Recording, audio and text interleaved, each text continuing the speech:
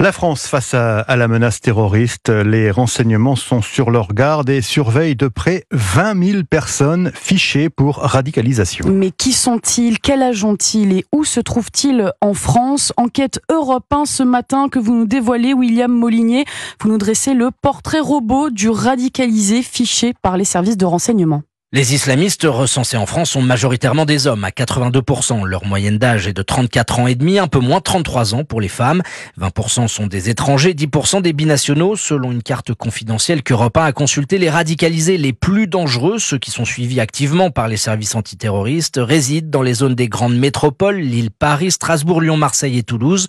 Une répartition qui colle à la quasi-perfection avec celle des attentats commis depuis 2017. Autrement dit, plus une ville abrite une population radicalisée, plus elle est susceptible d'être touchée par le terrorisme. Autre enseignement, peu voire très peu des cibles de la DGSI souffrent de troubles mentaux. Ces radicalisés du haut du spectre ne sont pas fous.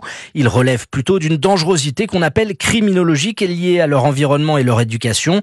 Sur eux, les médicaments sont inefficaces. Contrairement aux radicalisés psychiatriques, ils sont moins suivis car les services de renseignement considèrent que le risque du passage à l'acte violent est minimisé grâce au traitement médical qui leur est imposé. William Molini.